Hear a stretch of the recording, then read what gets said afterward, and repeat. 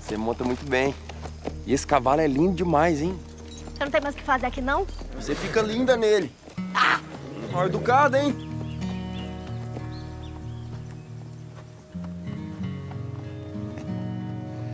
Vocês dois, hein? Eu não entendi porque que ela ficou tão brava.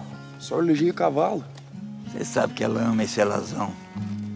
Esperava o quê? Que ela agradecesse de novo, né? O alazão, o cavalo, né?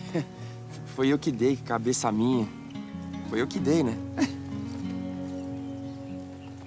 Ela me odeia, né? Ah, Sandro. Pra mim é difícil, viu? Você sabe que eu gosto de você. Mas eu sou pai dela, né? Como homem eu até te entendo. Mulherada pegando no pé.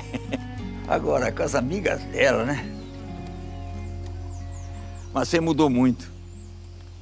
Parece até outra pessoa.